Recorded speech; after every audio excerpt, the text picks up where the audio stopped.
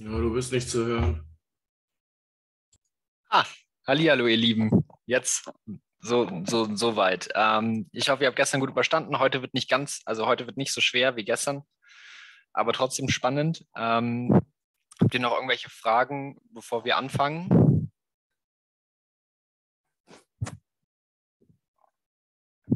Okay, erstmal nicht. Wir haben auch, wie viel? 20 Leute haben wir verloren. Das ist doch gut. Ähm, dann äh, lasst uns direkt anfangen. Äh, wir machen hier diese Aufgabe, eine Aufgabe zu verschiedenen Verteilungen. Ähm, in einer Urne befinden sich 150 Kugeln. Genau. Fangt damit mal an. Ich gebe euch so 20 Minuten, ja, also bis 13.25 Uhr dafür Zeit.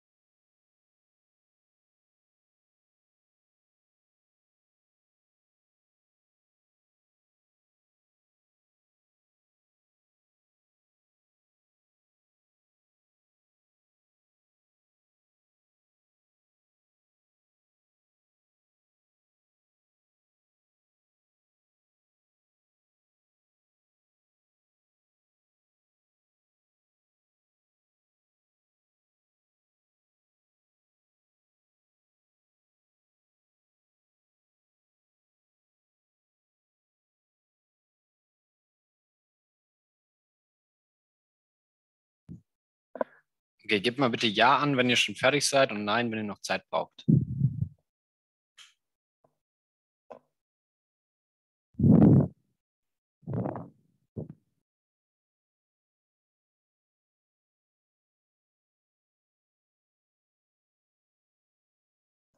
Okay, dann gebe ich euch noch vier Minuten. Danke.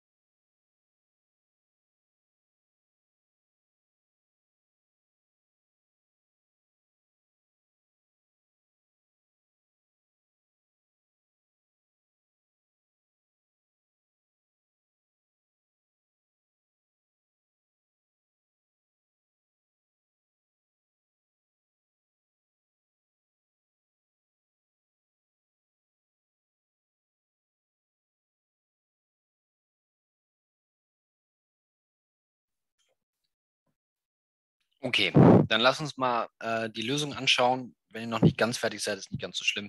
Ähm, dann einfach gut zuhören. Also bei der Aufgabe geht es um, ähm, um bestimmte diskrete Verteilungen. Ja? Und hier ist nochmal eine kleine Übersicht, welche diskreten Verteilungen habt ihr eigentlich alle kennengelernt. Also wenn ihr euch an das Basismodul Statistik erinnert, es gibt zwei Arten von Merkmalen. Es gibt diskrete Merkmale und stetige Merkmale. Bei diskreten Merkmalen kann ich abzählen, wie viele einzelne Merk Merkmale ähm, können rauskommen. Ja. Also ein klassisches Beispiel ist Schulnoten. Schulnoten können zwischen 1 und 6 sein. Ja. Ich kann abzählen. Es gibt sechs verschiedene Möglichkeiten, was ich bei einer Deutschklausur zurückkriege. Oder Anzahl Kinder. Ja. Also eine Frau kann zwischen 1 und lass es 10 Kindern kriegen. Ich kann das abzählen an der Hand, wie viele Ergebnisse können rauskommen. Und bei einer stetigen Verteilung gibt es unendlich viele verschiedene Ergebnisse, die oder nahezu unendlich Ergebnisse, die herauskommen können. Also ein klassisches Beispiel ist Einkommen. Ja? Also ich kann 100, 100 Euro verdienen, 100 Euro 001 Cent, 100 Euro 00005 Cent oder Körpergröße. Ja, ich kann 2 Meter sein, 2 Meter 1 Zentimeter, 2,0101. Meter und so weiter und so fort. Ja, das heißt, das ist der grundsätzliche Unterschied zwischen stetigen und diskreten Verteilungen. Ihr habt verschiedene stetige Verteilungen kennengelernt. Das ist zum Beispiel die Exponentialverteilung oder auch die Normalverteilung. Ja, N-Verteilung. Und ihr habt vier diskrete Verteilungen kennengelernt. Also diskrete Verteilungen sind Verteilungen, die ich eben bei den Merkmalen benutzen kann, wo ich abzählen kann, was rauskommt. Ja. Und ähm, genau, die Aufgabe fragt eigentlich ganz schön diese verschiedenen Verteilungen ab. Und man kann die sich äh, folgendermaßen merken. Also immer wenn in einer Aufgabe gefragt wird, was sind die, wie, wie, wenn, wenn es darum geht, was sind die Versuche bis zum ersten Erfolg, ja, dann passt eine geometrische Verteilung auf diese Aufgabe. Also wann kriege ich das erste Mal meinen Führerschein, wann schieße ich das erste Tor, wann gewinne ich das erste Mal. Solche, solche Fragestellungen, ja, die löse ich mit einer geometrischen Verteilung. Ja, und bei einer geometrischen Verteilung ist es ähm,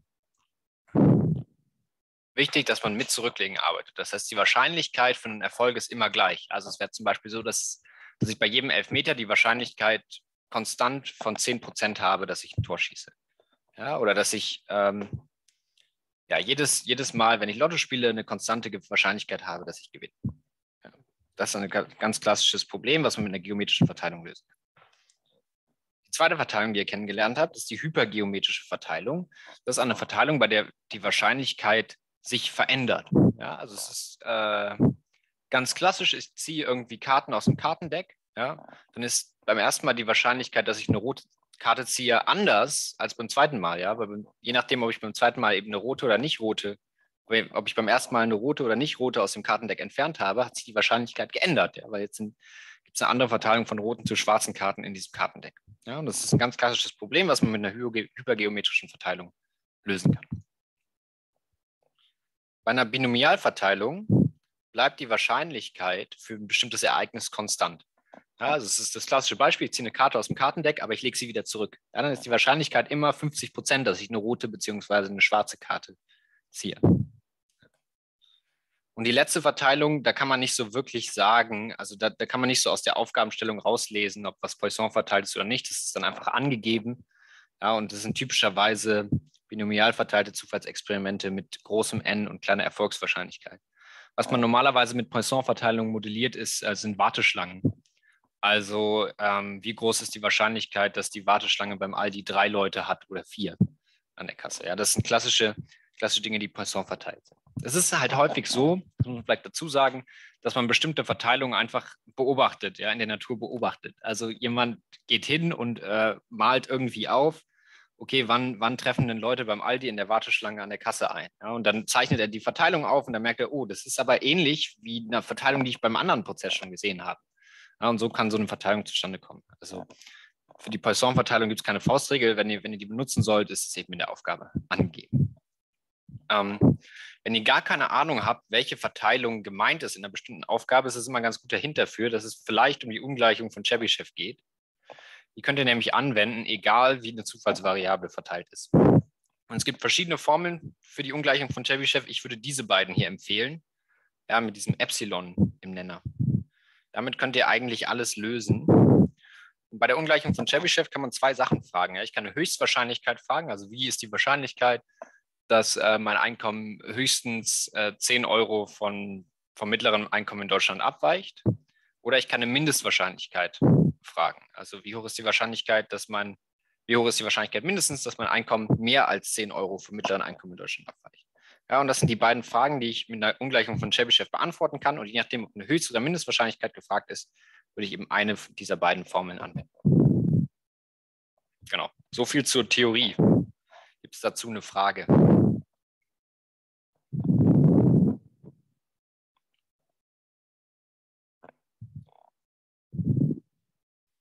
Ähm, wenn nicht, habe ich den Sachverhalt wahrscheinlich sehr gut erklärt.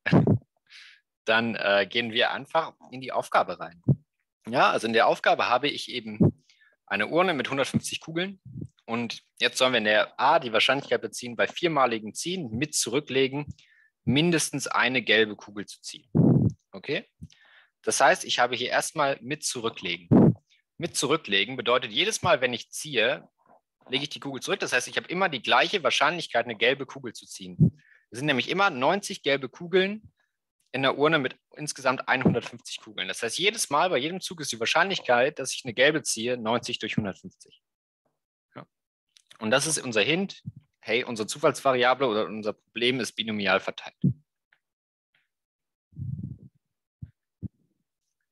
Ja, und zwar mit n gleich 4, weil ich 4 mal ziehe.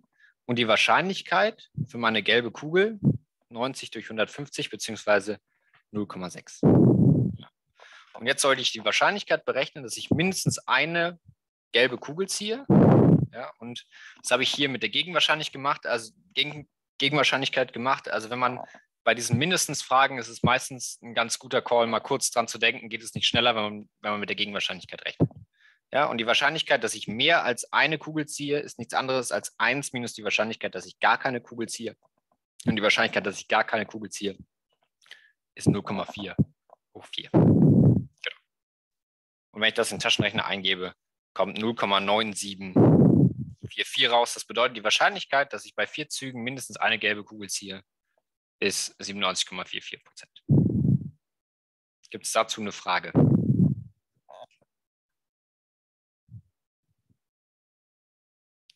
Sonst einfach reingrätschen, wenn ich zu schnell bin. Sonst gehen wir zu B. Ja. Was ist jetzt die Frage? Die Frage ist, im zehnten Zug mit Zurücklegen erstmals eine blaue Kugel zu ziehen. Und das ist eine klassische Frage, bei der die Wahrscheinlichkeit für den ersten Erfolg gefragt wird. Ja, also wann habe ich das erste Mal den Erfolg, eine blaue Kugel zu ziehen? Und das ist ein Buzzword für eine geometrische Verteilung. Ja, also eine Zufallsvariable oder unser Problem hier ist geometrisch verteilt. Jetzt muss ich mir überlegen, okay, wie hoch ist die Wahrscheinlichkeit, eine blaue Kugel zu ziehen? Naja gut, es gibt insgesamt 15 Kugeln, äh, 15 blaue Kugeln, es gibt insgesamt 150 Kugeln, das heißt, die Wahrscheinlichkeit, eine blaue Kugel zu ziehen, ist nichts anderes als 0,1. Ja? Und ich habe bei jedem Mal immer, immer wenn ich wieder ziehe, ähm, die Wahrscheinlichkeit von 10% eine blaue Kugel zu ziehen und von 90% keine blaue Kugel zu ziehen. Und die Wahrscheinlichkeit, dass ich beim zehnten Mal zuerst eine blaue Kugel ziehe, ist nichts anderes als 0,9 hoch 9 mal 0,1. Ja? Also 9 mal keine blaue Kugel und dann eine blaue Kugel. Und das ist 3,874 Prozent. Sehr gut. Äh, Entschuldigung. Ja. Frage. Also ich habe das einfach mit der Binominalverteilung gemacht und einfach p von x gleich 0 und da kommt dann derselbe Wert raus. Also wenn man quasi, ich habe das auf die 9, also quasi einen Zug abgezogen. Also dann 9 über 0 mal 0,1 hoch 0 mal 0,9 hoch 9. Kommt dasselbe raus. Ja, das ist eher, also was heißt es nicht Zufall, ne? Ist ja die gleiche Formel. Aber ähm, bei einer Binomial, ja, also es ist in dem Fall richtig, ist aber ein bisschen kompliziert gedacht. Also würde ich eigentlich nicht empfehlen. Okay. Weil theoretisch bei einer Binomialverteilung ist es halt erlaubt, dass wenn du zehn Züge machst, ist es erlaubt, dass du, ähm, dass du entweder beim ersten Mal eine blaue Kugel ziehst oder beim zweiten Mal eine blaue Kugel ziehst. Ja, und das ist bei einer geometrischen Verteilung nicht erlaubt. Bei einer geometrischen Verteilung ist safe, die blaue Kugel muss beim zehnten Zug kommen.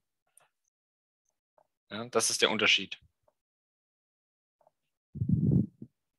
Aber wäre dann nicht die Wahrscheinlichkeit die gleiche, wenn ich äh, zehnmal ziehe und im fünften einmal äh, die blaue Kugel dann ziehe, dann würde ich doch auch trotzdem 0,9 hoch 9 mal 0,1 haben. Ja, also äh, mit einer Binomialverteilung würdest du die Frage beantworten, wie hoch ist die Wahrscheinlichkeit,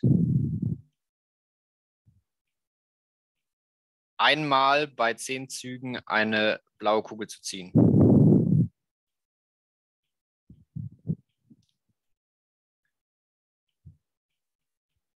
Und bei einer geometrischen Verteilung fragst du dich, wie hoch ist die Wahrscheinlichkeit,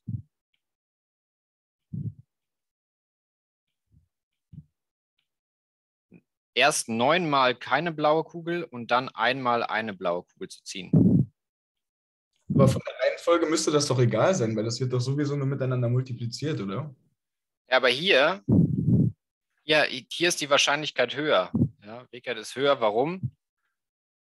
weil du hast das Ereignis eine blaue Kugel, neunmal keine, dann beim zweiten Mal eine blaue Kugel, dann beim dritten Mal und so weiter und so fort. Ja, und hier hast du nur die Möglichkeit, neunmal keine blaue Kugel und dann am Ende eine. Das heißt, hier ist die Wahrscheinlichkeit niedriger. Gibt es Sinn?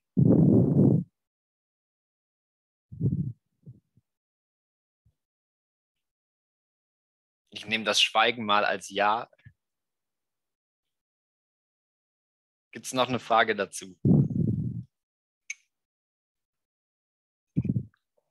Genau. Charlotte, der, der Erfolg ist bei der geometrischen Verteilung immer der letzte Zug. Genau.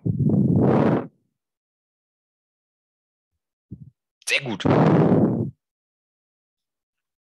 Wenn es keine Fragen mehr gibt, sonst gerne reingrätschen zur C. Irgendjemand rauscht krass ins Mikro. Bin ich das? Wenn ja, tut es mir leid. Ist es jetzt besser, Kevin? Okay. Mega.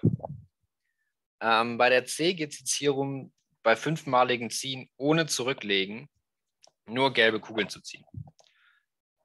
Und jetzt habe ich den klassischen Fall, dass die Wahrscheinlichkeit nicht konstant bleibt. Ja, weil ich bin ohne Zurücklegen. Das heißt, je nachdem, was ich beim ersten Zug ziehe, ändert sich die Verteilung der 149 Kugeln in meiner Urne. Ja, wenn ich eine blaue zuerst ziehe, ziehe habe ich dann weniger blaue in der Urne. Wenn ich eine rote zuerst ziehe, habe ich weniger rote in der Urne. Und das ist ein klassischer Fall für eine hypergeometrische Zufallsvariable. Ja. In dem Fall habe ich fünf Züge. Ich habe insgesamt, das ist mein Groß N, 150 Kugeln. Und ich habe mein klein m, das sind die Kugeln, die gelb sind, ja, 90 gelbe Kugeln. Und jetzt suche ich die Wahrscheinlichkeit, dass ich fünf gelbe Kugeln ziehe, also fünf von den 90, keine von den anderen 60. Ja, und insgesamt liegen 100, 150 ähm, Kugeln in der Urne und ich will fünf daraus ziehen. Das ist mein Nenner. Und das ist die Formel, also letzten Endes einfach die Formel der hypergeometrischen Verteilung und ich komme auf 7,43 Prozent.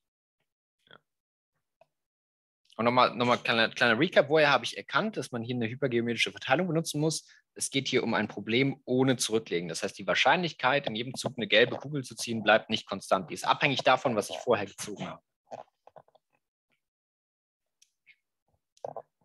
Dazu eine Frage.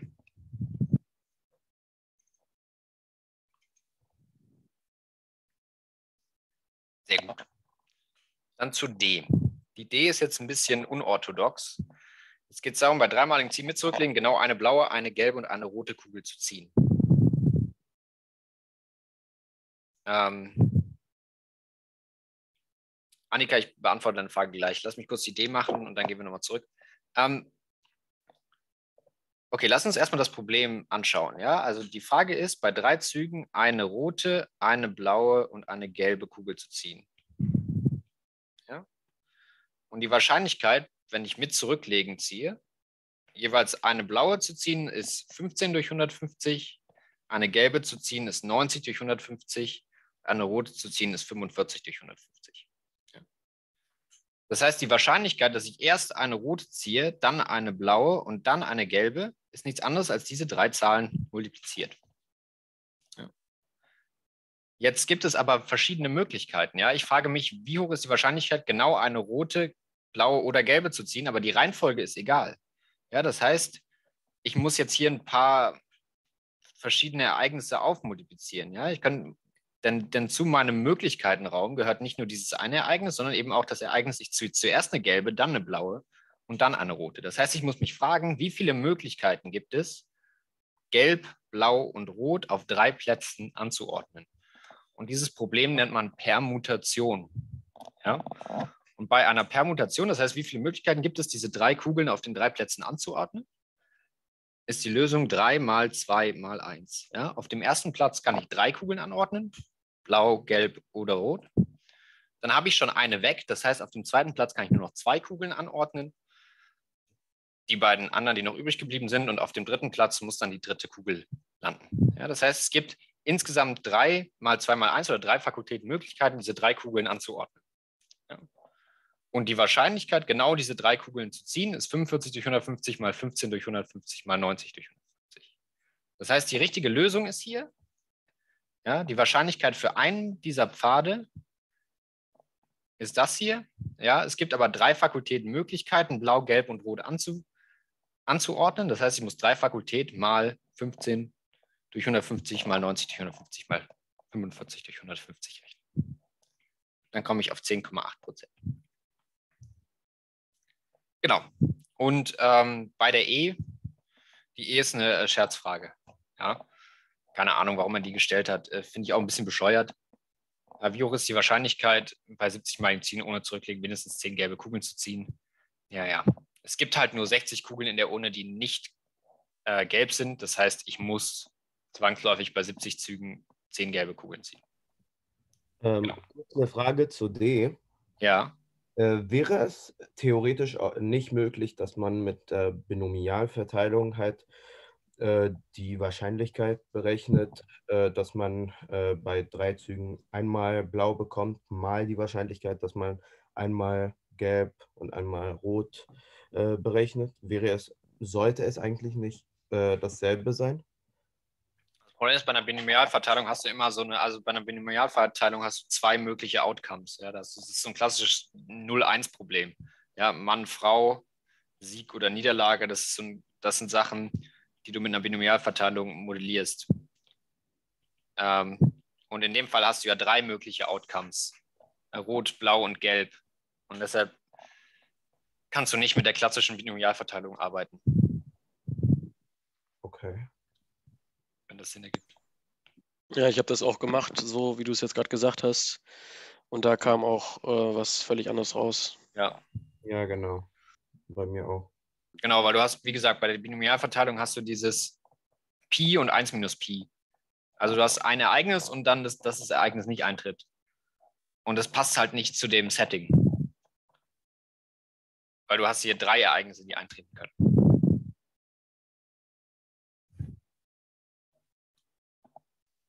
Genau. Jetzt hat noch jemand gefragt, ob man bei der ähm, C durch die ähm, durch die Binomialverteilung approximieren kann. Äh, da bin ich mir gerade nicht sicher. Ja, da müsste ich in der Formelsammlung nachschauen, was die Approximationsregel ist. Ehrlich gesagt, kann ich spontan nicht sagen. Dann gab es noch eine Frage. Ach so, Miriam fragt, aber bei der D geht es doch nicht um die Reihenfolge. Ähm, ja, das ist richtig, aber ich will, also ich will ja, ich will ja wissen, wie hoch ist die Wahrscheinlichkeit, dass ich bei meinen Zügen einmal blau, einmal gelb und einmal rot ziehe. Ja, und die Wahrscheinlichkeit ist eben nicht 15 durch 150 mal 90 durch 150 mal 45 durch 150. Warum nicht? Ja, weil das ist die Wahrscheinlichkeit, dass ich blau, gelb und dann rot ziehe. Ja. Aber das Ereignis rot, gelb, blau ist auch Teil meiner Ergebnismenge. Ja, das heißt, diese, diese Wahrscheinlichkeit alleine ist zu klein. Ich muss mir überlegen, wie viele Anordnungen gibt es und die dann damit multiplizieren. Super. Ähm, David, deine Frage müsste ich nachrechnen. Weiß ich jetzt spontan nicht. Gibt es noch eine Frage? Sonst gehen wir, machen wir eine kleine Aufgabe zur Ungleichung von Chebyshev. Und zwar die hier. Ganz kurz. Wo ist sie? Hier. Da. Aufgabe von Chebyshev. Ähm, ich gebe euch mal fünf Minuten dafür. Ja, also bis 13.48 Uhr.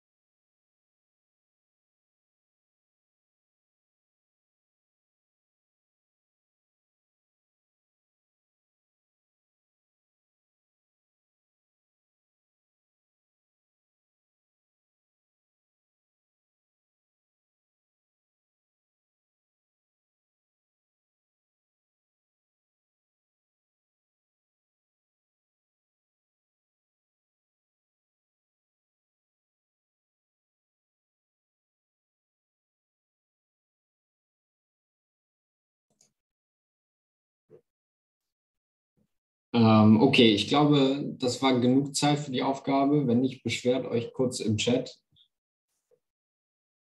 Ähm, weil dann können wir es kurz besprechen. Das ist ja keine große Aufgabe.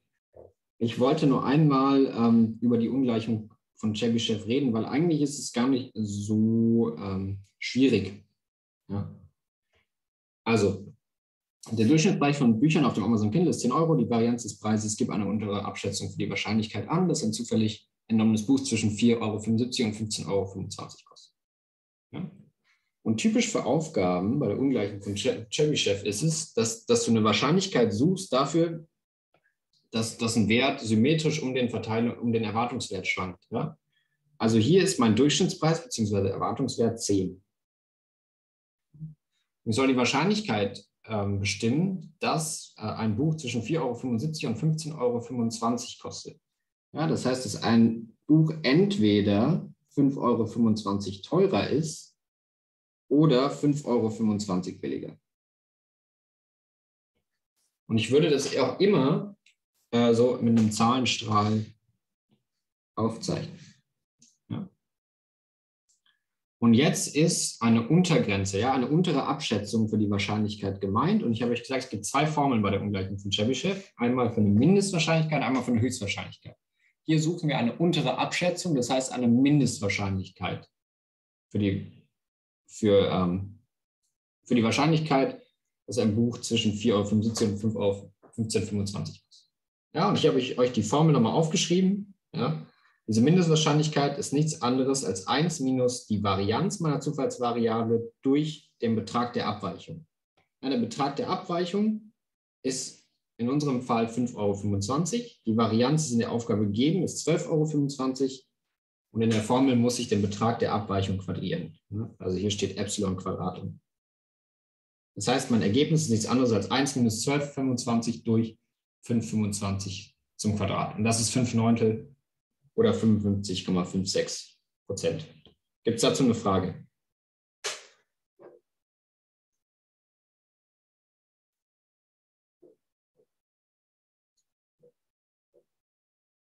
Wie löst man eigentlich solche Aufgaben, wenn äh, es nicht so eine Zwischenaufgabe ist? Also, das war jetzt so. Wieder top erklärt. Dann gehen wir zur nächsten Aufgabe. Fantastisch. Ähm, die nächste Aufgabe ist unsere vorletzte Aufgabe oder letzte. Äh, mal gucken. Und zwar geht es um lineare Regression. Ich wollte diese Aufgabe hier rechnen.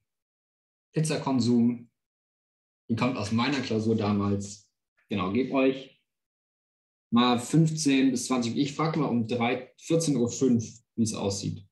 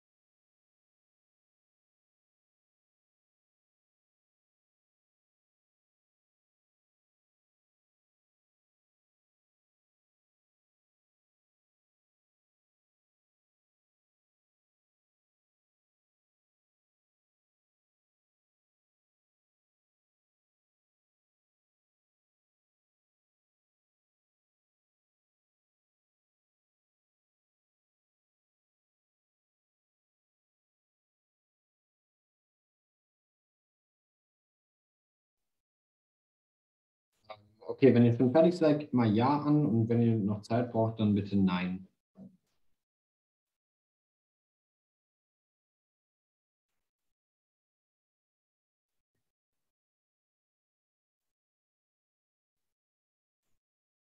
Okay, super. Noch zwei Sekunden, zwei, eins. Okay, ich glaube, wir können es besprechen. Jupp. Ähm, ich hoffe, ich höre jetzt, wenn ihr eine Frage stellt. Eigentlich habe ich es gerade nochmal getestet. Es müsste gehen. Ähm, also, äh, eine Aufgabe zur linearen Regression in R. Ähm, genau. Was wir hier machen, ist, wir haben eine Regression, beziehungsweise wir haben Daten gesammelt zum Pizzakonsum von Leuten in Euro, abhängig von deren Einkommen und abhängig von deren Alter. Ja? Und in der A sollen wir ein bisschen R-Code ausfüllen. Das heißt, wir wollen uns überlegen, wie kann man die Daten richtig einlesen in R. Ich zeige euch das auch gleich. Ich wollte euch gleich äh, noch mal einen anderen Datensatz in R zeigen. Und der Befehl dafür ist, es gibt ehrlich gesagt tausende Befehle dafür. Ähm, den Befehl, den ihr gelernt habt, ist read.csv. Ja? CSV steht für ähm, Comma Separated Values. Comma Separated. Und es ist ein Dateiformat, in dem man sehr effizient Daten speichern kann. Ja? Und deshalb sind die meisten oder sehr viele Statistikfiles oder Datenfiles sind in dem sogenannten CSV, Comma Separated Values Format. Und deshalb heißt diese Funktion read.csv. Genau. Und da muss ich den Pfad eingeben, wo meine Daten liegen und äh, kann auch einige andere Angaben machen, die wir jetzt mal hier ignorieren. Genau. Den zweiten Befehl, den ich mache oder den wir hier machen, ist ein sogenannter Attach-Befehl. Bei diesem Befehl, alles, was ich hier mache, ist, ich nehme Attach und, und gebe den Namen des Datensatzes ein. Ja, ich habe meine Daten hier in diese Variable eingelesen und Attach bedeutet einfach, dass ich jetzt auf alle Variablen zugreifen kann. Das heißt, ich kann jetzt einfach, wenn in dem Datensatz zum Beispiel eine Variable ist, die heißt Einkommen, dann kann ich auf diese Variable jetzt zugreifen. Ich kann einfach Einkommen bei R eintippen und dann kommen alle meine Einkommenswerte. Genau. Das zur A. Gibt es dazu eine Frage?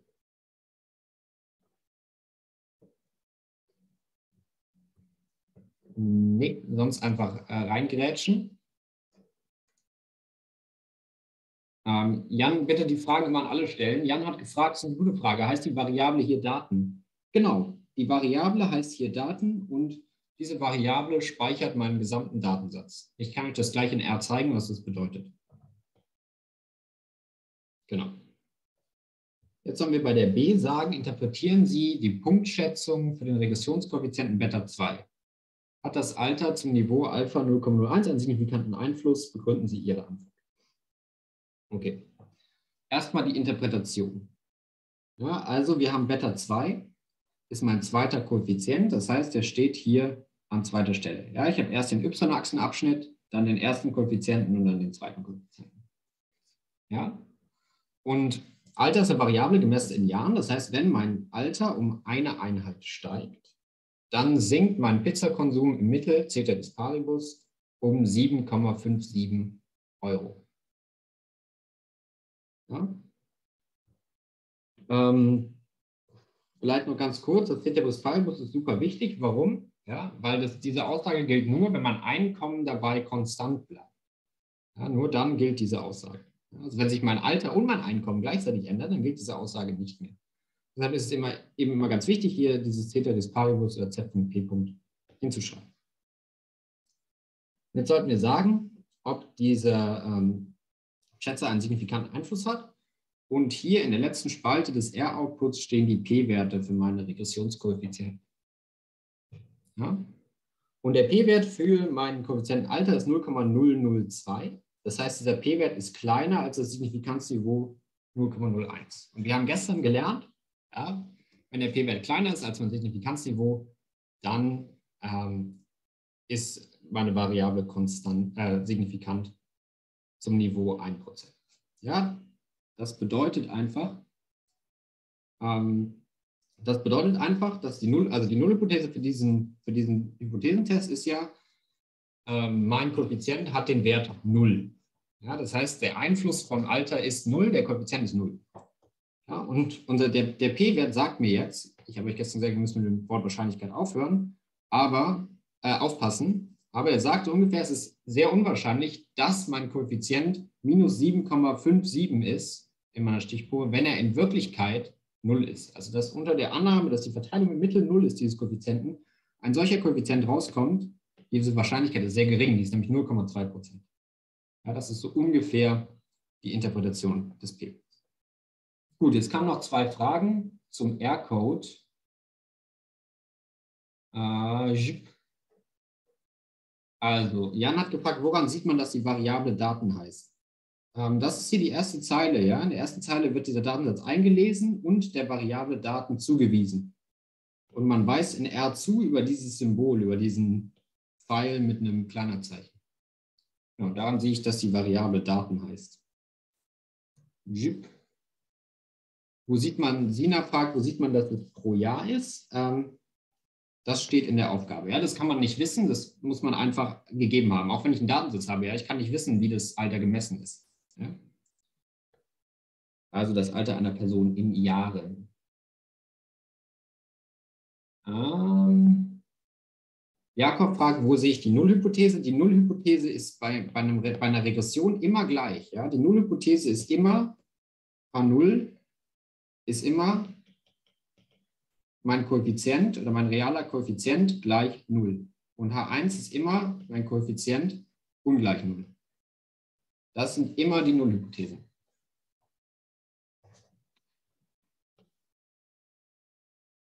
Okay, nächste Frage. Was bedeuten diese Sternchen? Da haben zwei, zwei Leute nachgefragt.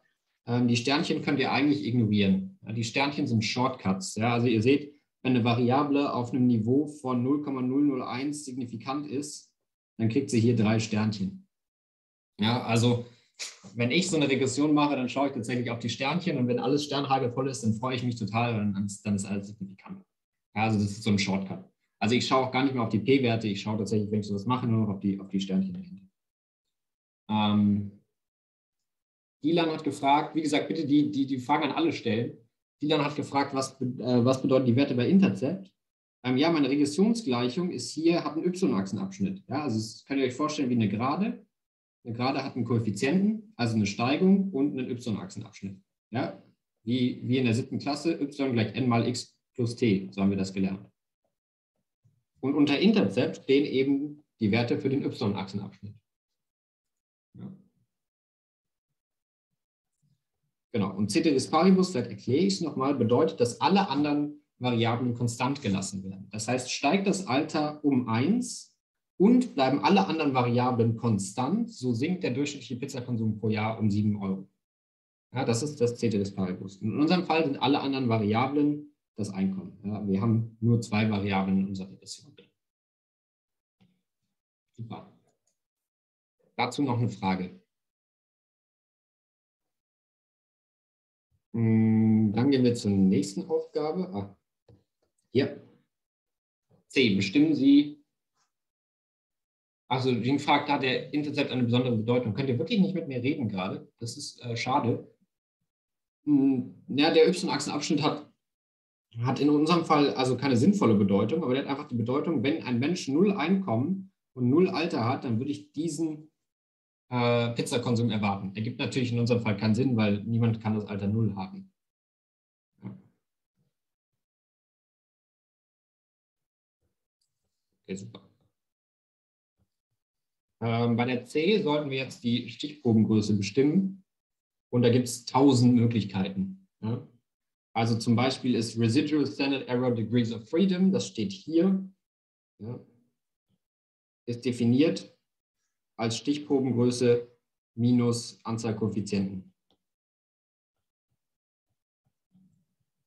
Ja, und die Anzahl der Koeffizienten ist 3. Diese Residual Degrees of Freedom sind 37, das heißt n ist 40. Ja. Oder ihr könnt es über die F-Statistik berechnen.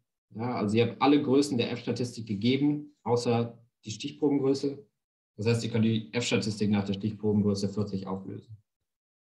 Oder auch die Nennerfreiheitsgrade der F-Statistik sind definiert als n minus k, oder wobei k die Anzahl der Koeffizienten ist.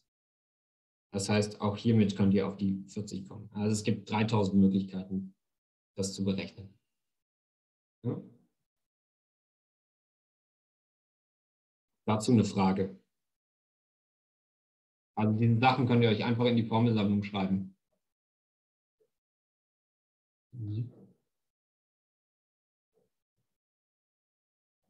David fragt, der Wert der T-Statistik gibt mir keinen Mehrwert, wenn ich äh, sowieso den P-Wert ausgegeben bekomme.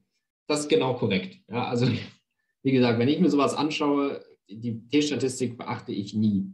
Ja, die, die schaue ich mir nie an. Also ich schaue mir immer den P-Wert und meistens auch nur die Sternchen an. Steht halt der Vollständigkeit halber da. UN2. Jan, wo hast du das entdeckt?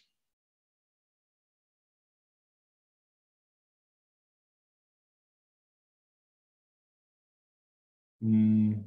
Ach so. Also man, die F-Statistik hat Freiheitsgrade und zwar Nenner- und Zählerfreiheitsgrade, also einfach ja, Parameter für die F-Statistik. Ja, und die ähm, Freiheitsgrade, die Zählerfreiheitsgrade sind die erste Zahl und die Nennerfreiheitsgrade sind die zweite Zahl. Das heißt, es ist eine F-Statistik zu zwei Zählerfreiheitsgraden und drei Nenner und 37 Nennerfreiheitsgraden. Kannst du vielleicht mal kurz Ja. erklären, wofür die Sternchen stehen? Ja, okay. Also, wir haben hier P-Werte, ne? Also hier sind die P-Werte angegeben. Und weil Statistiker faul sind und einen Shortcut gerne wollen, ähm, gibt es dieses Sternchen. Ja, und immer wenn eine Variable signifikant ist auf einem Niveau von ein- 0,1 Prozent, dann vergebe ich, dann, dann klatsche ich hier drei Sternchen dahinter. Wenn eine Variable nur signifikant ist auf einem Niveau von 1 Prozent, dann klatsche ich zwei Sternchen dahinter. Und wenn, wenn eine Variable nicht mal signifikant ist auf einem Niveau von 10%, dann gibt es gar kein Sternchen. Das heißt, wenn ich so eine Auswertung mache und auf meinen mein, ähm, Output schaue und ich sehe gar kein Sternchen, dann weiß ich, keine meiner Variablen ist signifikant auf einem Niveau von 10%. Alles klar, danke. Also es ist einfach nur ein Shortcut, ja. Also das könnt ihr auch vollkommen ignorieren. Ja, hier ist die Legende dafür. Und da hinten sind die Sternchen. Das haben auch nicht alle Statistikprogramme. Das ist halt eine, so ein Besonderheit von R.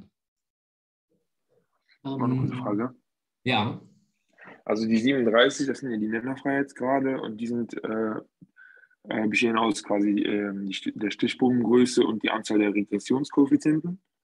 Ne? Und äh, aus diesen 37 kann man dann die Stichprobengröße quasi ermitteln, Beispiel, ja. irgendwie, ja. irgendwie die 37 minus die Anzahl der Regressionskoeffizienten Ja. ähm, rechnet quasi. Und die Zählerfreiheitsgrade kriegt man daraus, da, daraus kriegt man wahrscheinlich nicht die Stichprobengröße. Die Zählerfreiheitsgrade sind die Anzahl der Koeffizienten.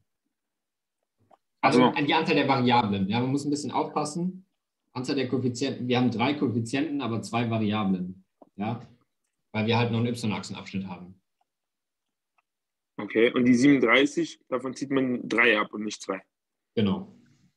Das ist einfach Alles so klar, Def- danke. das ist Definitionssache. Okay, danke.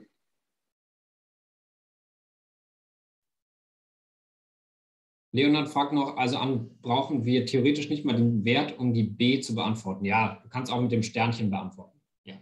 Aber wie gesagt, die Sternchen sagen dir halt nur, was der P-Wert ist. Okay, noch eine Frage. Sonst gehen wir zur E. Ja, bei der E messen wir jetzt das Einkommen oder das ist die Konsumausgaben für Pizza nicht in Euro, sondern in Cent. Ja, das bedeutet, meine Variable y ist jetzt nicht mehr Euro, sondern Cent. Ja, und jetzt die Frage, wie ändert sich die Punktschätzung für den Regressionskoeffizienten Beta 2? Ihr erinnert euch, unsere Interpretation für diesen Koeffizienten war, steigt das Alter um 1, so sinkt im Mittel der Pizzakonsum pro Jahr um 7,57 Euro. Ja, und das ist der Wert des Koeffizienten. Hm? Wir müssen noch die D machen. Wollte ich nur sagen. Ah, sorry. Ähm, dann lass uns kurz die E machen, danach machen wir die D. Danke für den Hinweis. Ähm, ja, und das ist unser Wert für Beta 2.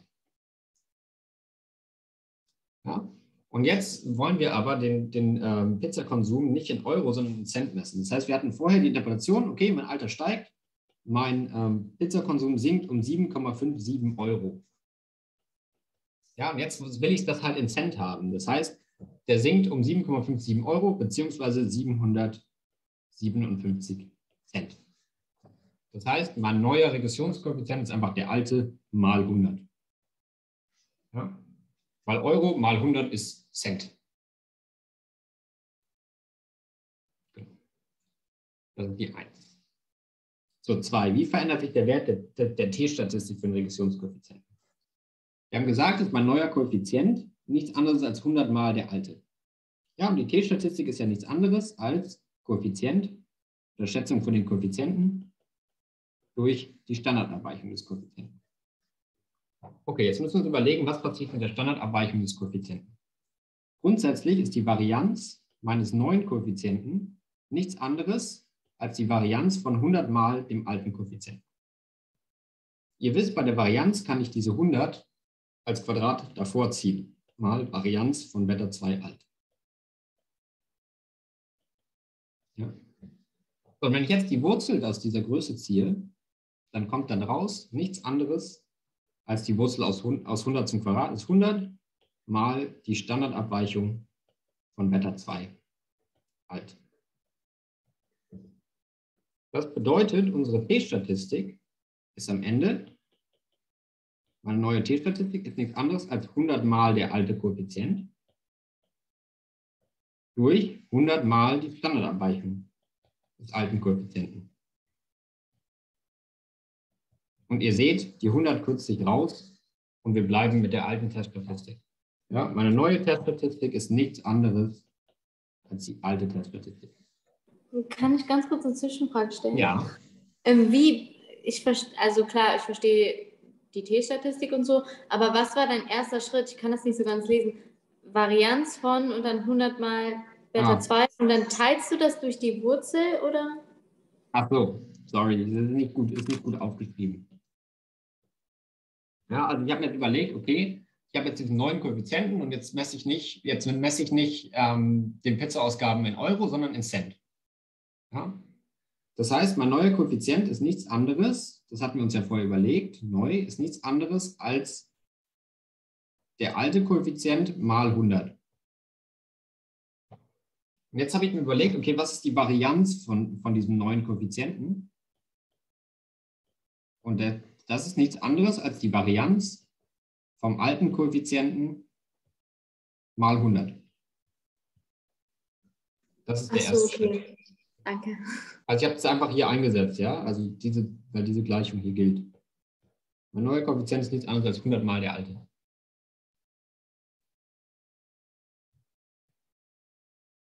Gibt es dazu noch eine Frage? Ist nicht so ganz einfach. Äh, nee, aber könntest du es vielleicht noch ganz kurz offen lassen einfach? Mhm. Aber wie gesagt, ich lade das Video auch gleich hoch. Dann könnt ihr das nochmal sehen. Genau, Charlotte hat noch gefragt, kann ich in der Zwischenzeit beantworten. Die F-Statistik zeigt auch die Werte für den Test auf den Gesamtzusammenhang. Das ist doch in dieser Aufgabe gar nicht relevant. Ähm, ja, also wie gesagt, bei der C kannst du die F-Statistik benutzen, indem du die Stichpunktgröße berechnest. Und es kann ja auch sein, dass danach gefragt ist. Ja? Also nach der, äh, nach der F-Statistik. Janis fragt, wo es hochgeladen wird. Such einfach auf YouTube, Klausurtraining, ALM Statistik, dann findest du es. Sonst ist im Dropbox-Link ist auch, ähm, in der Beschreibung ist auch ähm, äh, der Link zum Video aus dem letzten Jahr. Und dann findest du auch das aus diesem Jahr. Aus diesem Jahr. Okay, dann würde ich zur D gehen. Die D zeige ich euch am besten auch gleich in R, ehrlich gesagt. Die Schätzung der linearen Regression wurde mit folgendem Code in R durchgeführt. Schreiben Sie einen R-Code, der für die drei Koeffizienten ein Konfidenzintervall ermittelt. Ja? Und der Befehl ist einfach confint. Und dann tut ihr erst die, die, die Variable rein, in der ihr eure lineare Regression gespeichert habt. Und dann müsst ihr angeben, welches, welches Level wollt ihr haben, welches Konfidenzniveau. Ja? Wenn ihr vorher schaut in den Code, das Modell wurde geschätzt, oder steht hier, ne? Genau, das Modell wurde geschätzt mit dem Befehl lm und wurde gespeichert in der Variable lm. Ja, und ich habe euch gesagt, dieser Strichpfeil sagt euch, wenn eine, ähm, sagt euch, wenn, wenn was einer Variable zugewiesen wird oder in einer Variable gespeichert wird. Und das vielleicht ein bisschen klarer zu machen, wollte ich euch einmal noch fünf Minuten zeigen, wie das in R geht und euch sozusagen Live-Demo geben. äh, wenn es keine Fragen mehr dazu gibt. Zur Klausuraufgabe jetzt.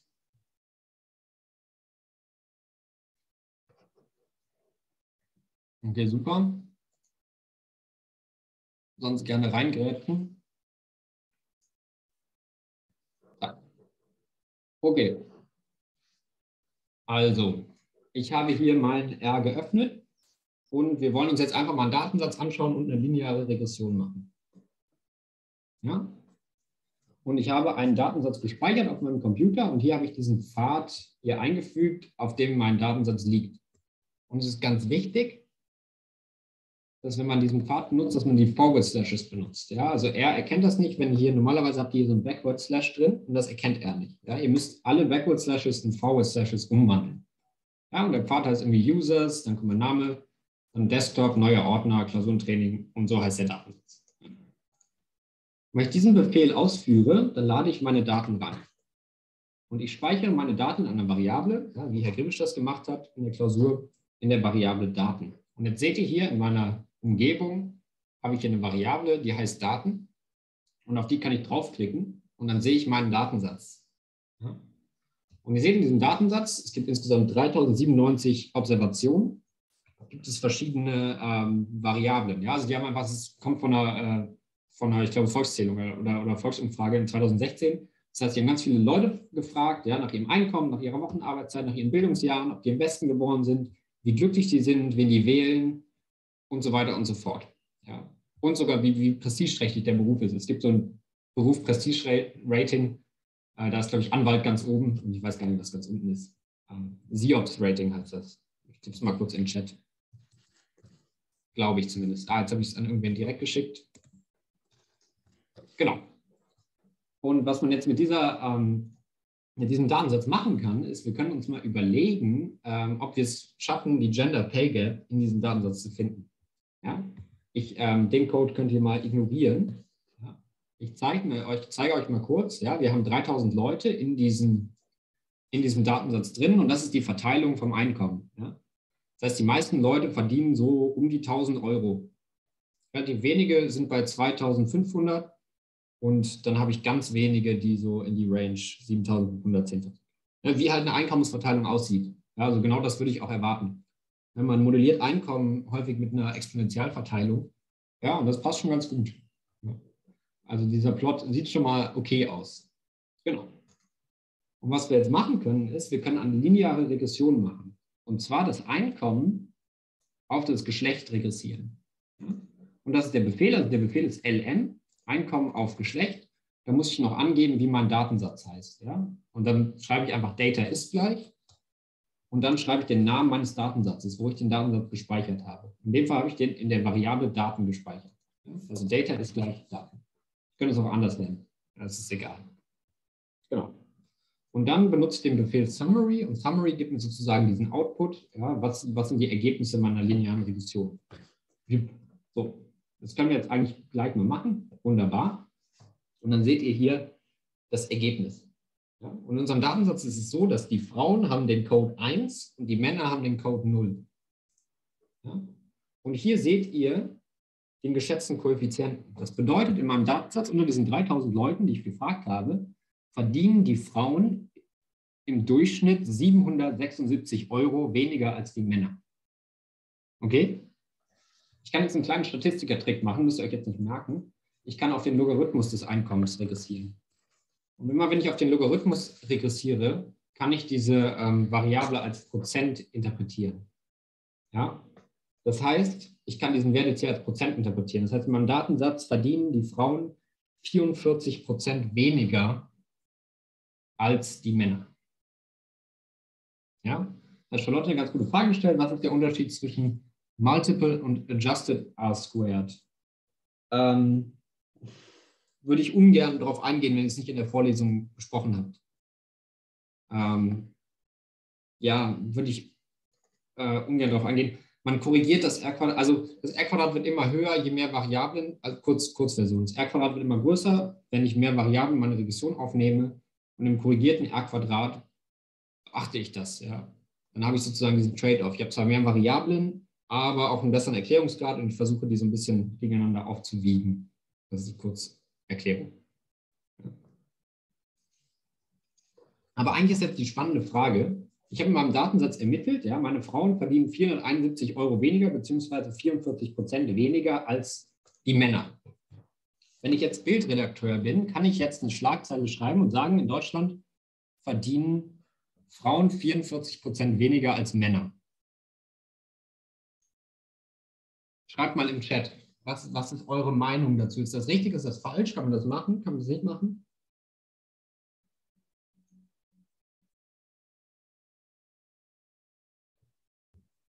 Gehen, gähnende Lehre.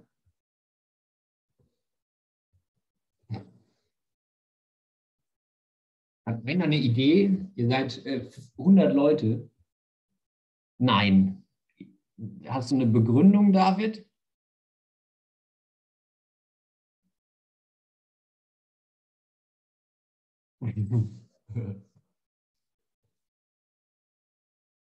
Johanna, sehr gut. Schreib die Antwort mal an alle. Sina, die Stichprobe ist zu klein. 3000 Leute ist okay. Also ja, warum, warum, warum nicht? Genau, Johanna, Johanna hat einen sehr guten Punkt. Also, was stimmt ist, in unserem Datensatz verdienen die Frauen 44 Prozent weniger als die Männer. Das liegt aber nicht nur an dem Geschlecht. Es liegt zum Beispiel auch daran, dass Frauen weniger arbeiten. Und es gibt nämlich in unserem Datensatz auch die variable Wochenarbeitszeit.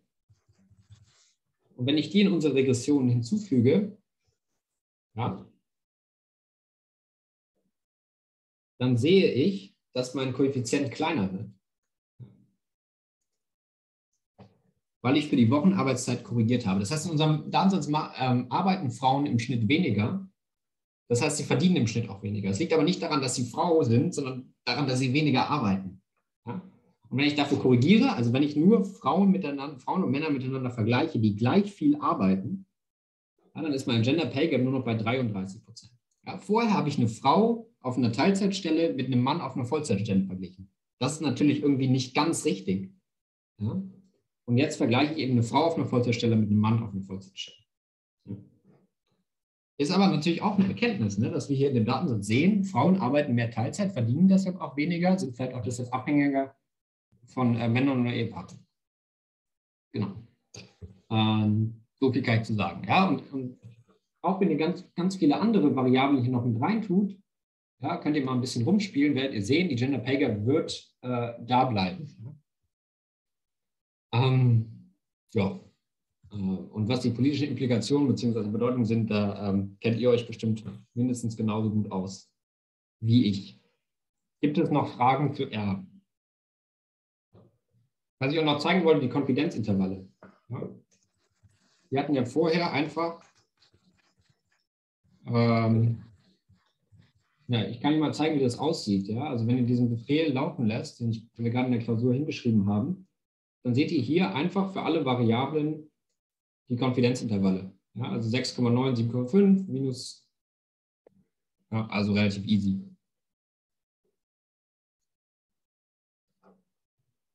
Super. Übrigens könnt ihr in dem Datensatz auch schauen, ob Frauen im Durchschnitt glücklicher sind als Männer. Ja, ihr könntet zum Beispiel Glück aufs Geschlecht registrieren. Ähm, Glück heißt die Variable, glaube ich. Ja, Glück auf äh, Geschlecht.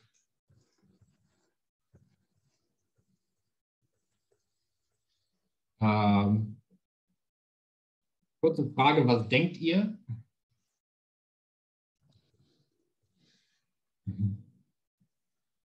Ihr denkt gar nicht mit. Wenn bei Frauen gibt es noch eine andere, ich mache eine, ja, ich kann keine Umfrage machen. Ähm, ja, ich zeige euch kurz. Ja. Es sind tatsächlich so, dass Frauen glücklicher sind als Männer. Ja, der Koeffizient ist positiv. Okay, gut. Äh, letzte Frage. Was bedeutet das ermittelte Konfidenzintervall in der Zeile Interzeit im Sachzusammenhang? Das bedeutet einfach, dass auch mein Y-Achsenabschnitt ähm, unsicher ist. Und also im Sachzusammenhang schwierig, also kann man nicht so richtig interpretieren. Ja, ich versuche halt einfach eine Gerade zu bilden, die das, die, die den Zusammenhang zwischen Einkommen und Geschlecht ähm, abbildet. Ja? Und wenn du die gerade darauf beschränkst, dass sie unbedingt bei Null anfangen muss, dann ist es nicht unbedingt sinnvoll, ja? weil dann habe ich, nur, hab ich nur eine begrenzte Anzahl an Geraden, die ich, die ich als Zusammenhang angeben kann. Deshalb nimmt man eben immer ein Interzept. Den kann man aber nicht so wirklich interpretieren. Äh, Benjamin hat eine gute Frage. Heißt das kleine R-Quadrat nicht auch, dass das nicht so aussagekräftig ist? Das R-Quadrat sagt mir, wie viel meiner Varianz der Variable ich erklären kann durch, ähm, durch äh, die Regression. Ja? Das bedeutet, in unserem Fall, in unserer Regression, lass mal kurz schauen, hatten wir ein R-Quadrat von 27 Prozent. Ja? Und das ist nicht unbedingt klein. Ja, das bedeutet, ich kann 27 Prozent der Varianz des Einkommens dadurch erklären, dass ich weiß, bist du eine Frau und wie viel arbeitest du. Andere Faktoren, die da reinspielen, sind natürlich Zufall, ja, irgendwie Sympathiepunkte, aber natürlich auch Bildungsgrad, Industrie, in der du arbeitest und so weiter. Ja, also nur weil das R-Quadrat klein ist, ich meine immerhin 27 Prozent, das ist gar nicht so wenig, kann ich damit erklären, dass ich weiß. Also bist du eine, also die, allein die Information, bist du eine Frau und wie viel arbeitest du, lässt mich zu einem Viertel erklären, wie viel Einkommen du hast. Also das finde ich nicht wenig.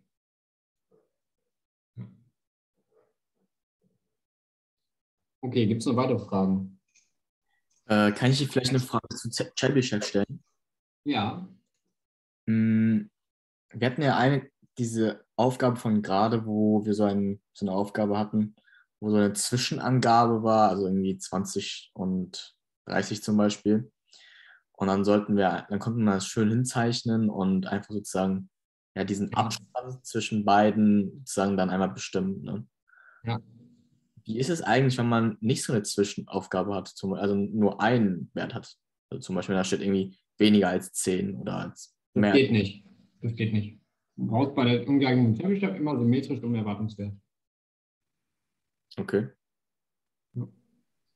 Ähm, eine Bitte von mir, ähm, ich fände es mega, wenn ihr mir Feedback gebt zum Klausurentraining zu heute und gestern. Ich habe euch da einen Link reingeschickt, gerade in den Chat. Das sind nur drei Fragen, das wäre wär ich euch super verbunden, wenn ihr das ausfüllen könnt, dann kann ich mich leicht verbessern. Ähm, Leonard hat noch eine Frage. Kannst du vielleicht einmal die 0,01 der Wochenarbeitszeit erklären? Sehr gerne. Ja? Das heißt, ich habe hier meine Regression gemacht und ähm, genau. In unserem Fall ist es hier so, also wenn meine Wochenarbeitszeit um eine Einheit, also um eine Stunde steigt, dann steigt mein Monatsgehalt im Mittel um Ceteris Paribus um 1%, ja, um 1,49730 Prozent. Ähm, ich habe auch gerade noch eine Frage. Ja. Ähm, also du hast ja eben geschrieben, dass quasi Level von 0,95 ist ja das Signifikanzniveau oder 0,05 oder was auch immer. Das Ja. ist. Und manchmal steht da auch äh, Rate.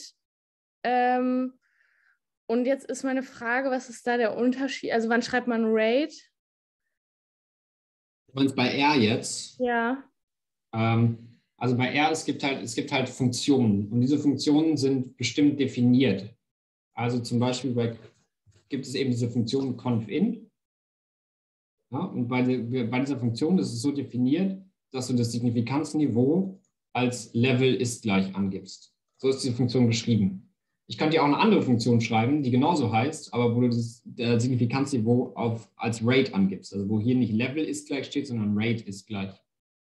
Ja. Ja, weil äh, es gab da so eine Klausuraufgabe und da sollte man quasi wirklich nur das hinschreiben. Da war jetzt kein ähm, R-Programm schon ausgegeben, sondern man sollte das einfach wirklich nur dann einen Satz dazu hinschreiben. Und deswegen wusste ich dann nicht, welches ich dann nehme, weil das ist dann irgendwie gefühlt in jeder Aufgabe unterschiedlich. Ja, also wie gesagt, wenn du die Funktion benutzt, musst du Level schreiben, bei anderen Funktionen musst du vielleicht Rate schreiben. Letzten Endes, also ich meine, das ist ja auch ein bisschen blöd, weil ich meine, also wenn ich programmiere, dann google ich halt sowas, ja. Ähm, ja. Oder schaust hier in der R-Hilfe nach. Okay. Äh, Melissa hat noch eine Frage. Äh,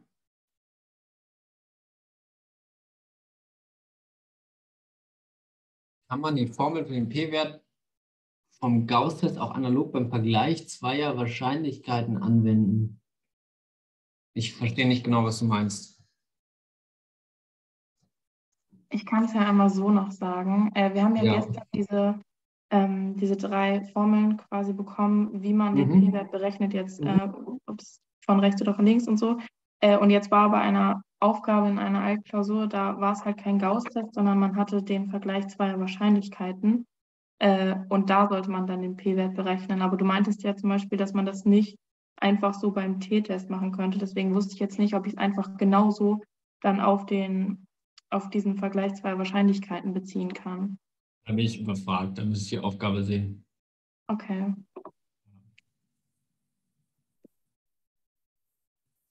Ähm, Maximilian hat noch eine eine gute Frage, die ich äh, beantworten kann. Ja, also es gibt ein paar Shortcuts in dieser LM-Funktion. Also zum Beispiel ja, habe ich ja in meinem Datensatz ungefähr 19 Variablen, die habe ich euch vorher gezeigt. Ja, also Geschlecht, Alter, Einkommen, lieber blub, Internet, wie oft nutzt das Internet und was für ein Beruf und so weiter. Und wenn ich auf alle Variablen registrieren will, das heißt, wenn ich alle Variablen als Prädiktoren haben möchte, dann, dann kann ich da einen Punkt reinschreiben. Ja. Und dann seht ihr, dass wir hier alle Variablen als Prädiktoren drin haben. Ja. Also ob du Fachkraft Vertrieb bist oder nicht, ob du Beruf von Beruf Allgemeinarzt bist oder nicht, also wirklich alles drin. Ja, und da seht ihr auch hier für alle, für alle die Koeffizienten, Standardfehler und P-Werte. Zweite Frage war, wann benutzt man den Punkt? Den Punkt benutzt man, wenn man eine Interaktion darstellen möchte. Also zum Beispiel regressiere ich auf Geschlecht plus Wochenarbeitszeit plus äh, Geschlecht mal auf Geschlecht mal Wochenarbeitszeit. Ja. Jetzt versuche ich eben eine Interaktion darzustellen. Ja. Also wenn Frauen mehr arbeiten, verdienen sie dann mehr, als wenn Männer eine Stunde mehr arbeiten. Ja, und dann benutzt man eben den Doppelpunkt. Ja, jetzt siehst du hier diese Interaktion mit als Prädiktor.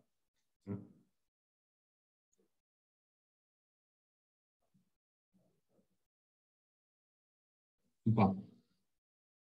Noch eine Frage.